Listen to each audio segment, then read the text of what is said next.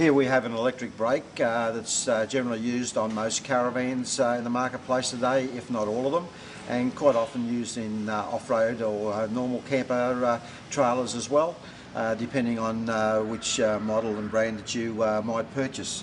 The electric brake system is uh, possibly the best brake system to use on a uh, towed uh, vehicle. This brake has excellent braking capabilities and is uh, very controllable uh, from a uh, brake controller that's normally fitted to the inside cabin of the, the towing vehicle.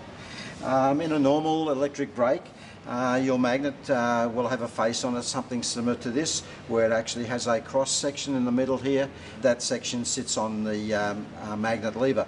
The magnet lever is this item here, and this is is where the magnet would normally sit. That's where the uh, the magnet lever goes. And what happens is when the power is uh, put to this uh, magnet face here, it attaches itself to the brake drum. As the brake drum is rotating, it wants to pull the magnet with it, so it does this sort of thing. As this lever moves forward, it spreads the brake shoes, and that's what gives you your braking capabilities.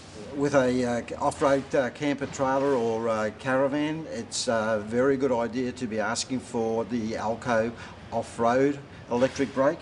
And the difference between this off-road brake and a standard brake is this centre of the magnet here has a plastic bush, and the plastic bush uh, gives the magnet a dampening effect when it's riding on the normal magnet lever. I'm going to turn, turn this magnet over now and show you what can happen after a lot of corrugated road use. You end up with this sort of wear in the back of the magnet. If you can imagine that this here originally looked something like this, you can appreciate the amount of wear that's happened. This here is where the magnet would normally sit. Here it's worn like an arrowhead where normally it would be shaped as a rectangle. And what has happened, because of this continuous rattling on corrugated roads, it's like two pieces of metal or hammers working against one another and it just totally flogs out the, uh, the two pieces of material. By having a plastic bush, and this plastic bush is not just any plastic, it is uh, designed to put up with high braking temperatures. It gives this a uh, an insulating effect between the magnet lever and the, uh, the magnet itself and you will get thousands of more kilometres wear from your uh, brake magnets using this particular system.